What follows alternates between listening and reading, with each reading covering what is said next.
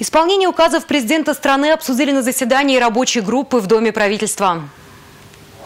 Заработная плата медработников Чувашии повышается согласно разработанной дорожной карте. Средняя оплата труда врачей – 48,5 тысяч рублей, среднего медперсонала – 24,5, младшего – чуть более 24 тысяч рублей. 2012 года с начала реализации указа заработная плата врачей увеличилась на 2,05 раза, средний медицинский персонал в 1,8 раза, младший медицинский персонал – 3,7 раза.